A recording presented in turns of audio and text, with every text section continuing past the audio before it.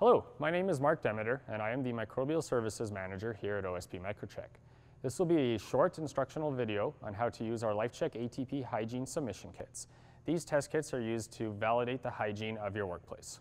I have with me here today a five sample submission kit of LifeCheck ATP Hy-Gene and I'm going to go through it and demonstrate how to swab a common touch surface. In this case, I'm going to use the steering wheel of our warehouse's forklift. So when you receive your kits, it'll be boxed or packaged in such a way that includes everything that you're going to need to do to collect the sample and submit it for ATP testing. So when we unbox this, we will find a set of instructions, so the same steps that we're going to be showcasing here. We will find a sample submission form, which we're going to fill out after we've taken our sample. Five swabs that we are going to use to swab the surface. A soak reagent that we use to wet the swab pair of nitrile gloves so that you can do this in a clean fashion. And inside this bag, you will find five reagent X tubes. These are the uh, tubes that your finished swab is going to be transported in. So the first thing I'm going to do is put on my nitrile gloves. I want to make sure that the surface I'm testing isn't contaminated with anything that might be on my skin. The next step is I'm going to take one of my swabs. I can see that the swab tip is down here, so I want to open the package from this end up here. So open the package, discard that. I like to get a little bit ready by just kind of cracking the lid on my soak reagent.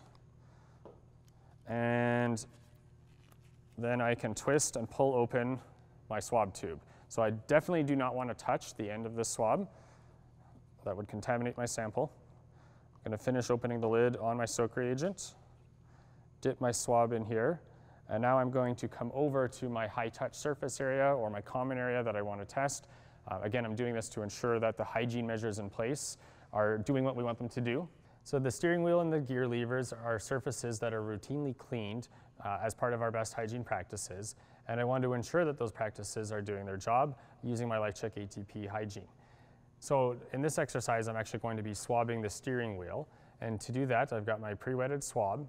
And I'm just going to move the swab over the surface of the steering wheel, maybe a little underneath there where the finger grips are, changing the orientation of my swab and rotating it so that I'm using the total surface area of the swab.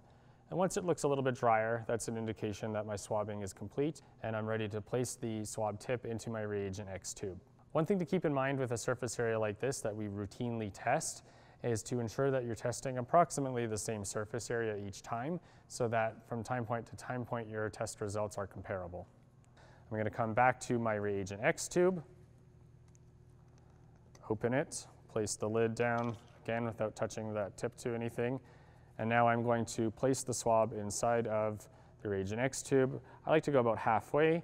I hold the swab shaft against the edge of the tube with one finger, and then I can bend the shaft until it breaks, letting that go so that the swab is inside that reagent X liquid and securing the cap tightly in place.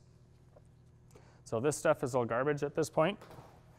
And now the next thing I need to do is label my reagent X tube so that when I submit it to OSP, they know what they're testing.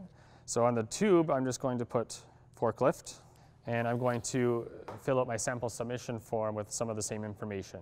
I'm going to fill out all the uh, pertinent information, including my organization, contact name, contact email, and then in the sample description, I'm going to have forklift steering wheel, the date sampled and the time, and then sign off and submit it.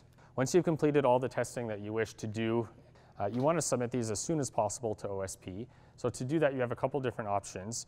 You can ship this off to OSP using your own preferred method, or if you like, we will actually provide you with, for purchase, some prepaid envelopes and packaging so that you can simply put your Reagent X tube in that provided packaging and have it shipped off immediately.